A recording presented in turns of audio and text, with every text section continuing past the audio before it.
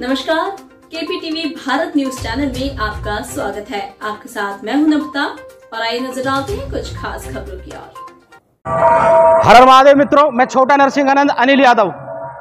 स्वागत करता हूँ आप सभी का एक महत्वपूर्ण विषय के साथ। आपके सा, साथ आया हूँ मेरे साथ है रणसिंह आनंद गिरी जी महाराज निर्भयानंद जी और राम स्वरूप आनंद जी।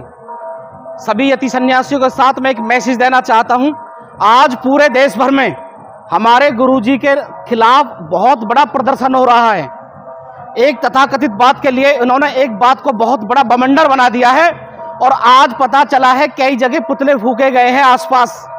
और कल इन्होंने गाजियाबाद के कलेक्ट्रेट पर जो चिरकुट हैं क्षेत्र के, इन्होंने पूरा आह्वान करके लोगों को बुलाया है रणसिंगा, नरसिंहानंद गिरी जी महाराज का पुतला फूकने के लिए। तो मैं एक बात स्पष्ट कर देना चाहता हूँ यदि गुरुजी का कल पुतला फूका तो आप समझ लेना और सारा प्रशासन ये समझ लेना कि जो बात गुरुजी ने कही है, वो अक्षरत सच होने वाली है। दशहरा के दिन दोनों के पुतला फूकेंगे, मोहम्मद का भी और अली का भी और अगली अगली बार अबू बकर का भी बनेगा। ये बात समझ लेना, यदि कल पुतला फूका तो शिव शक्ति धाम डासना से पुतला दहन कार्यक्रम अब के स्टार्ट होने वाला है? आप समझ लो। आप प्रेशर नहीं बढ़ा सकते। और आप ही क्षेत्र वाले और गाँव वाले और पब्लिक वाले नहीं हो। हम भी गाँव और क्षेत्र के मौजूद व्यक्ति हैं।